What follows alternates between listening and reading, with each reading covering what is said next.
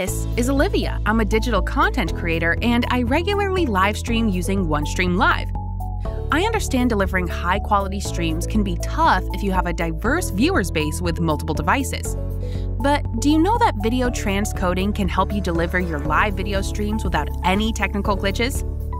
Video transcoding is the process of converting a file from one format into another.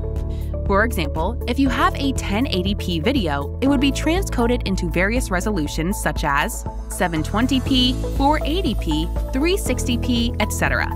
So, the viewers can watch your live video stream in a format that is compatible with their devices. Wondering why is this important? Suppose your video is in MOV format, and you want to distribute this video to multiple devices, but the target device can only run files with the MP4 format. Video transcoding will convert the video format into the MP4 format and allow the viewer to play the video smoothly. It might sound like a difficult task, but worry not.